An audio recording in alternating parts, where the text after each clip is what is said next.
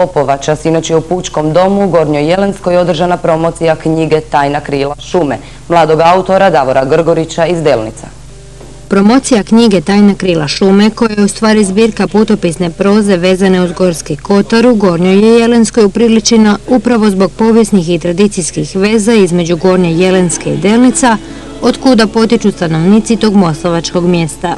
To je baš jedna goranska knjiga, u njoj ima dosta i erotike, žena, ali sve vezano uz Gorski kotar, ima mnogo toponima, mnogo e, dijalektalnih pojedinosti vezane uz naš e, goranski kraj, e, naše podneblje koje je specifično po mnogo stvari, između ostalih i po dijalektima koji izumiru.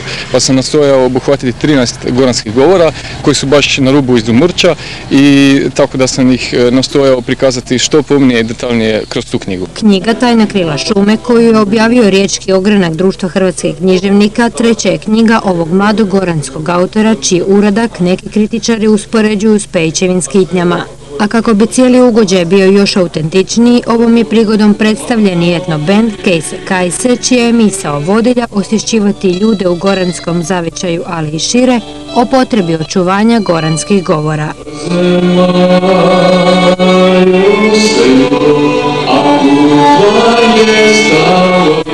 Učenici Bjelovarske ugosti